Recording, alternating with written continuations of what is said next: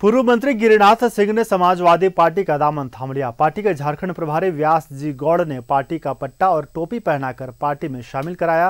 Party की सदस्यता ग्रहण करते ही झारखंड प्रभारी ने सिंबल भी दिया। अब गिरिनाथ सिंह साइकिल छाप पर चुनाव लड़ेंगे। और मैं राष्ट्रीय जनता दल में था तो हमारा काम करने का तरीका समाजवादी ही था। कंसेप्ट वही है। हम लोगों के नेता रहे हुए हैं।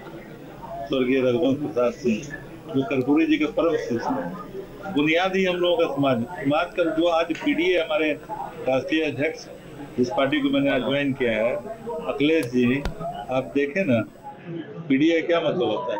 पिछड़ा दलित Akhilesh. Uttar Pradesh